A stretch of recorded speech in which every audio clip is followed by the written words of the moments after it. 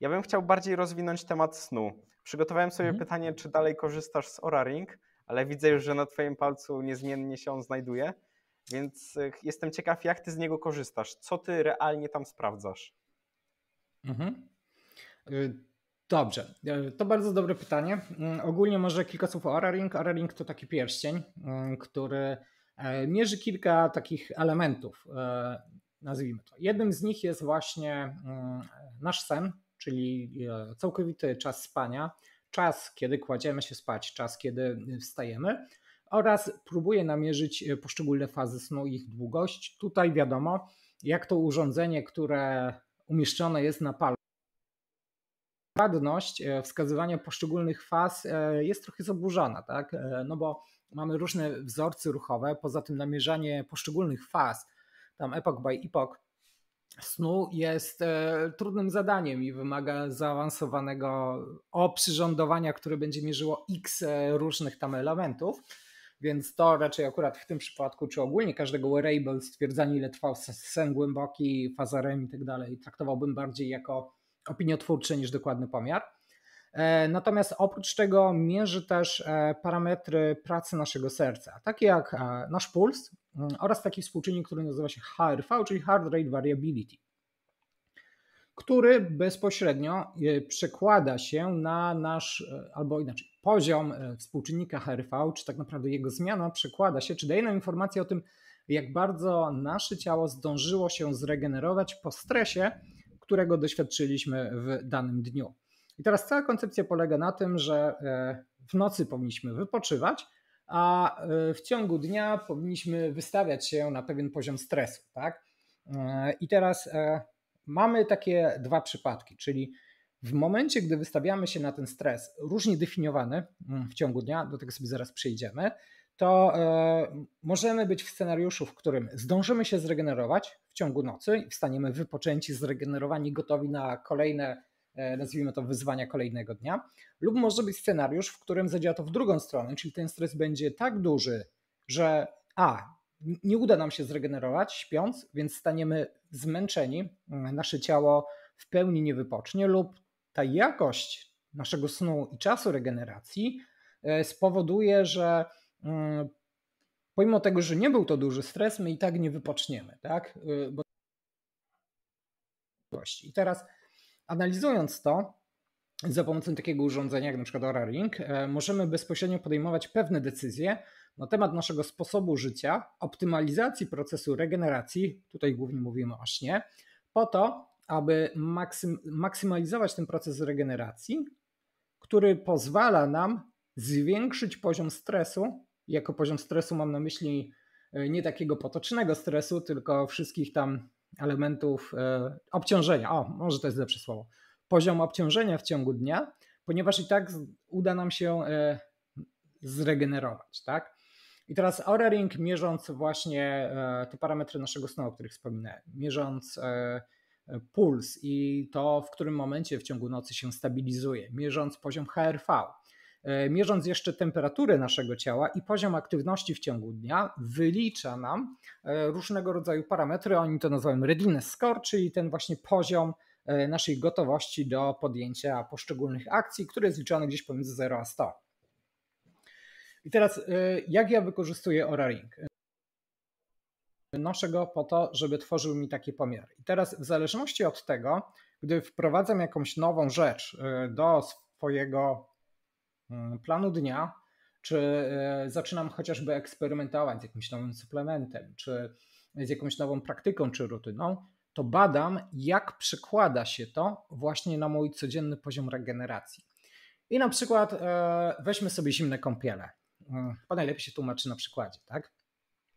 Zacząłem je stosować i e, zacząłem na przykład stosować je tak na poziomie 15, 15 E, minut, e, minut e, dziennie. I po pewnym czasie mm, zobaczyłem, że 15 minut zimnej kąpieli codziennie spowodowało w długim terminie obniżenie mojego HRV i obniżenie mojego readiness score. I co to oznaczało? Że tych 15 minut zimnej kąpieli codziennie powodowało, że był to za duży stres jednak dla mojego organizmu i codziennie powtarzany obniżał mój poziom regeneracji. Więc na przykład zmniejszyłem ten czas e, do tam 8 minut. Tak? Teraz mniej więcej pomiędzy 5 a 8 e, staram się zażywać zimnej kąpieli codziennie i zobaczyłem, że ta zmiana spowodowała, że mój HRV i proces regeneracji wzrósł. Tak? Czyli to była optymalna zmiana, czyli skrócenie tego czasu, tej ekspozycji na zimno, tego stresu związanego z przebywaniem w zimnej wodzie, która pozytywnie wpłynęła na mój poziom regeneracji E, dostarczając mi tej, wiesz, e, wyższej koncentracji wszystkich tych elementów, o których wspominałem.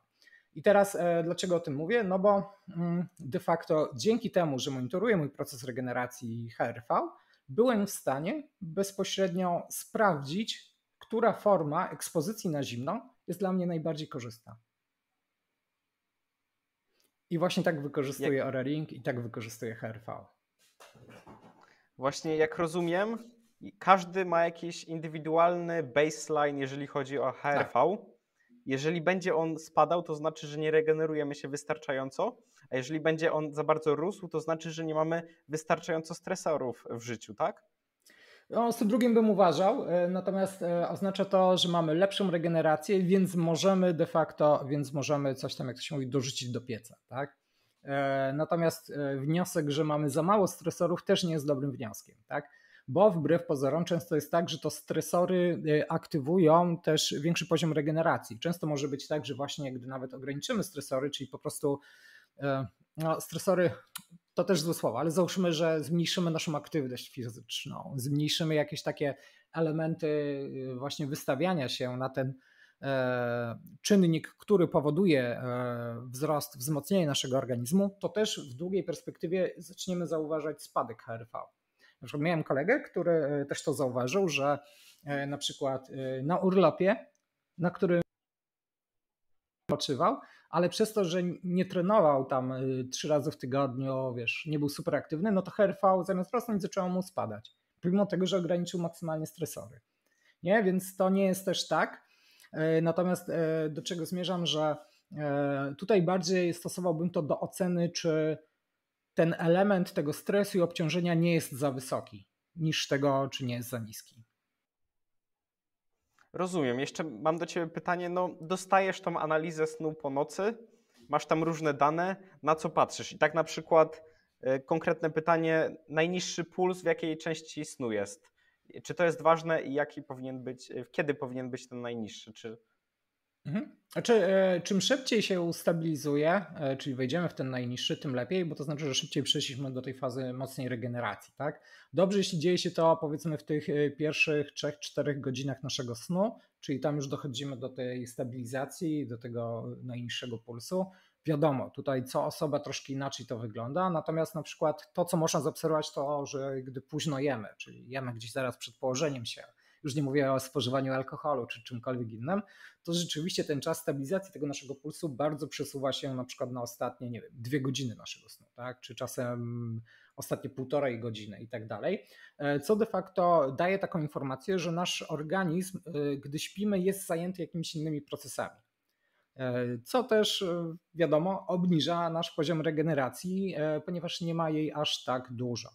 I to też jest widoczne w naszym HRV, że ono po prostu wtedy jest, wtedy jest niższe.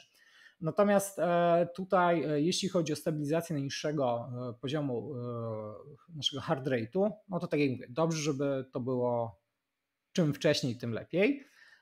A z drugiej strony, jeśli chodzi o HRV, to żeby nasza średnia była w miarę wysoka, czyli dążyła do nazwijmy to, miała trend zwyżkowy, czyli żeby ciągle rosła. I drugi ważny element to jest to też, że jak analizujemy nasze HRV i na nim się opieramy, to średnie HRV jest wliczane jako średnie HRV z całej nocy. Tak? Warto zwrócić uwagę na HRV e, poranne, czyli to, które rano mamy, bo ono jest tak zwane kluczowe. E, także Oraling mierzy średnie w nocy, ale jak wejdziemy tam w szczegóły, to możemy zobaczyć. Bo na przykład może być tak, że mocno eksploatujemy się w ciągu dnia i kładziemy się zmęczeni, więc e, to nasze HRV wieczorne jest niskie, ale mamy tak dobrze zoptymalizowaną noc, że nasz proces regeneracji jest e, tak dobry, że rano to HRV, to poranne jest na bardzo wysokim poziomie. Tak?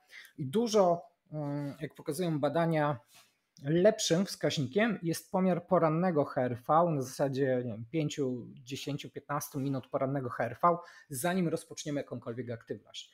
Wiadomo, z punktu widzenia użyteczności e, czy utrzymania takiego nawyku mierzenia tego porannego HRV, to jest trudne, bo musimy wstać, zacząć mierzyć, leżeć przez tych 5 do 15 minut w łóżku, nic nie robiąc i tak dalej. E, najlepiej, wiesz, jeszcze o niczym nie myśląc, nie stresując się. No jest to ciężkie do utrzymania, tak? Więc e, takie mierzenie tego porannego HRV jest po prostu trudne, jeśli chodzi o to, że mamy robić to codziennie. Więc zwykle e, chociażby w Oraringu bazuje się na tym średnim nocnym. Natomiast warto zwracać uwagę, jakie jest maksymalne zarejestrowane i warto zwracać uwagę, jak wygląda ten poziom, gdy się budzimy. Czyli jak wyjdziemy sobie na szczegółowy wykres, to jak wygląda nasze HRV już e, nad ranem, czy tam zaraz przed naszym wstaniem i na jakim jest poziomie. Bo tak jak mówię, czasami średnie HRV może bezpośrednio przez to, że na początku nocy mamy niskie, bo kładziemy się zmęczeni spać, a rano mamy już wysokie, bo się wypoczęliśmy, może zaburzać ten nasz całkowity, e, całkowite spojrzenie na regenerację. Mhm. Czyli jak rozumiem, patrzysz na HRV, to jest kluczowa metryka. Dalej patrzysz, kiedy jest najniższy puls. Domyślam się, że patrzysz jeszcze ogólnie, jaki jest. E, tak, jak, jaka jest liczba tego najniższego pulsu, tak? Tak, tak. E, tak. Plus readiness score, czyli ten automatycznie wyliczany. No i jest jedna jeszcze ważna rzecz, tak? Mm, że trzeba pamiętać, że to urządzenie typu wearable więc ono może popełniać błędy. E, czasami na przykład wychodzi mi ten readiness score bardzo niski, bo pierścień mi się poluzował i na przykład przez północy nie było pomiarów. Więc po prostu mam tam jakąś przestrzeń, że e, nie wiem, e, nie spałem przez północy albo po prostu nie zebrał tych pomiarów, więc po prostu są one zaburzone.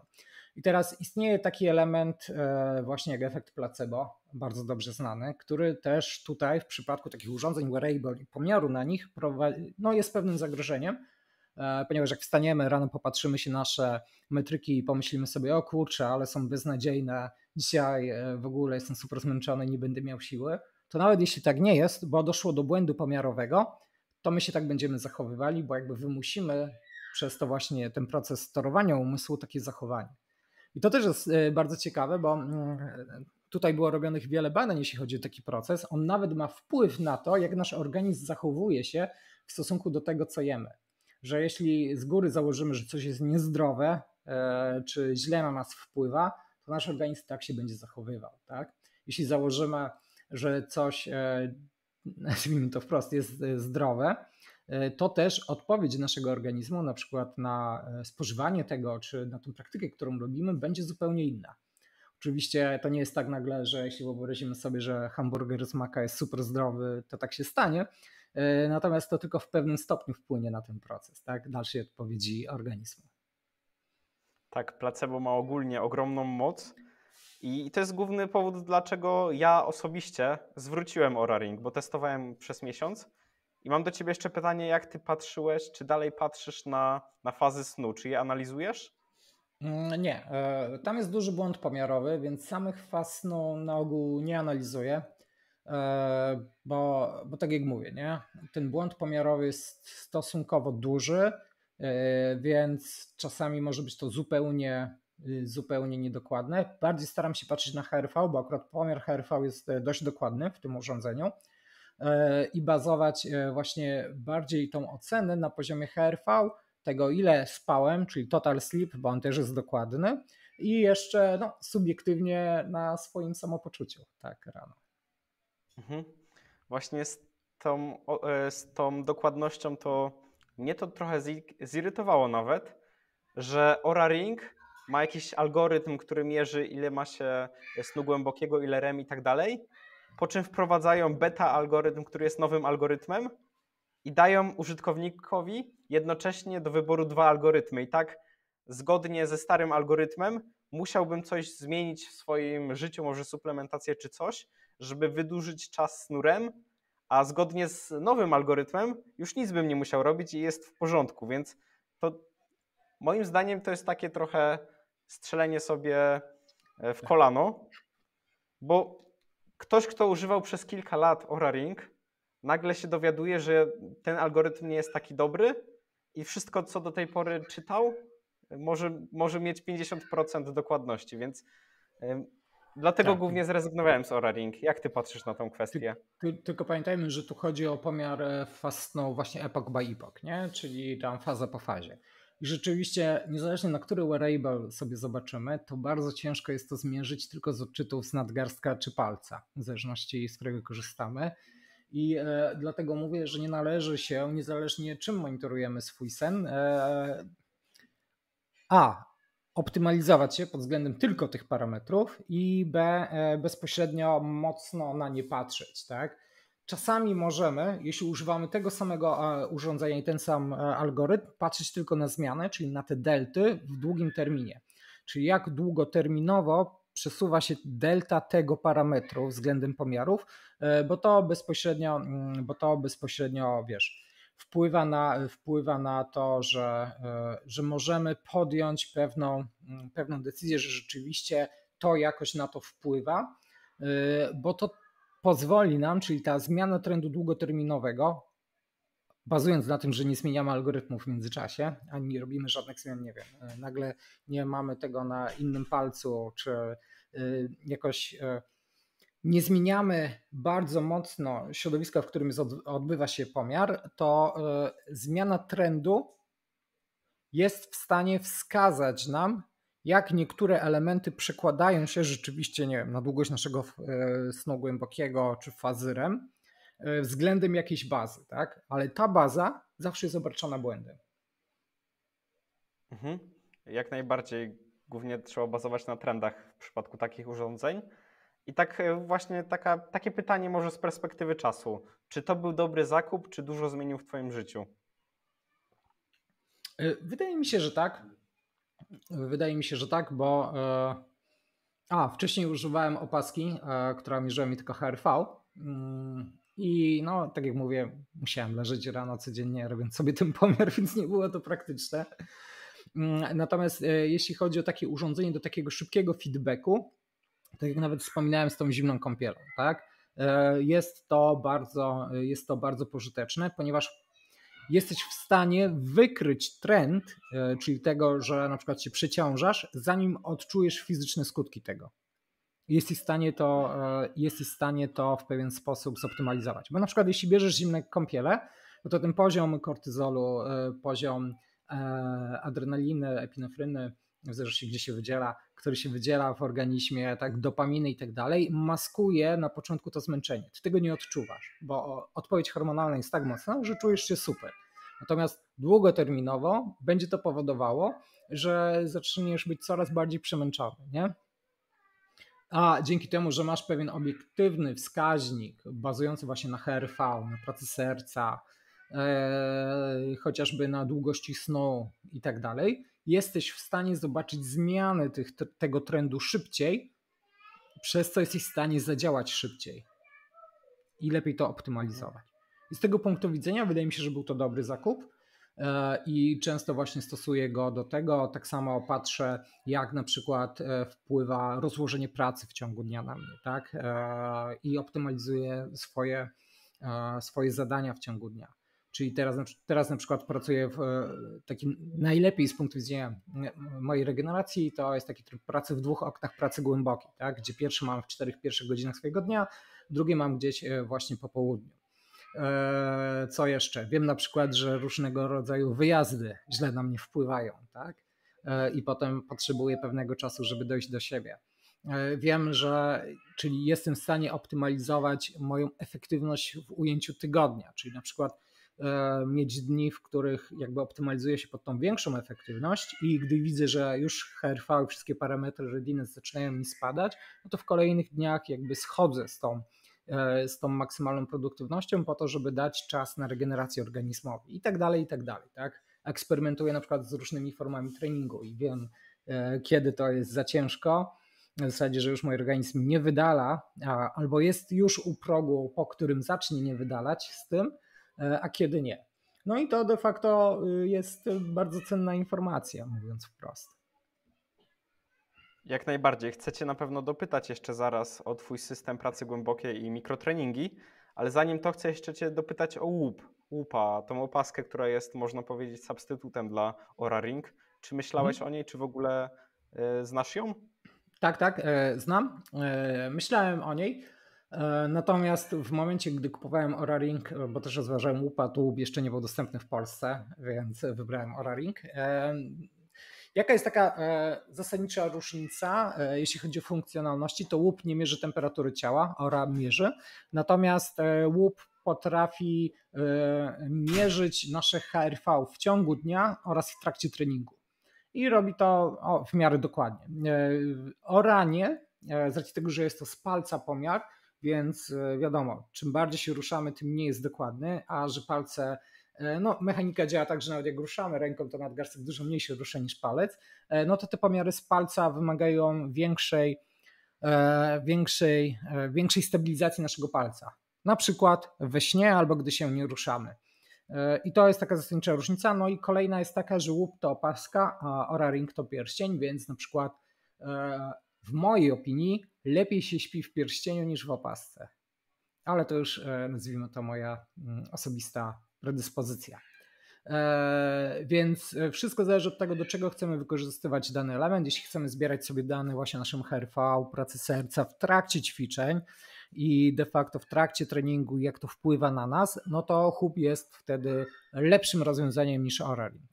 Jeśli nie lubimy spać w opaskach e, i e, de facto przeszkadza nam, jak coś mamy na nadgarstku, no to możliwe, że Aura Ring jest lepszym rozwiązaniem, bo po prostu jest pierścieniem, który na noc sobie zakładamy, więc nie jest aż tak, nie wiem, odczuwalny czy inwaz no, inwazyjny to złe słowo, ale nie jest taki duży, wiesz, i ciężki jak opaska na przykład. Więc e, bezpośrednio taki poziom regeneracji codziennej, e, to obydwa te urządzenia są dobre i obydwa, e, na podstawie obydwu z nich jesteśmy w stanie wyciągnąć te same wnioski, czyli e, analizując zmianę trendu, czy się lepiej regenerujemy, czy to obciążenie jest zbyt wysokie. Świetną też sprawą w tych czasach jest to, że mamy 30 dni na testowanie i możemy to potem zwrócić bez ponoszenia w zasadzie żadnych kosztów. Ja tak za jakiś czas myślę, że sobie właśnie przetestuję jeszcze e, łupa. Jeszcze na koniec Cię dopytam, czy nie miałbyś nic przeciwko, żeby podzielić się, jak wyglądają Twoje statystyki snu?